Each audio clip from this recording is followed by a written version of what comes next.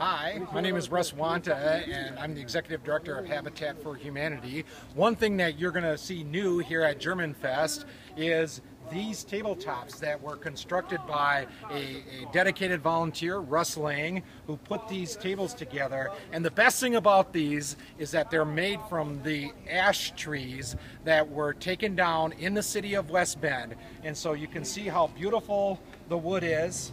And this wood obviously uh, can be purchased at at uh, our Habitat Restores. Um, and so this is something new here at Germanfest. And uh, please, please come down on Thursday night and, and listen to the great music and drink awesome beer. Thank you.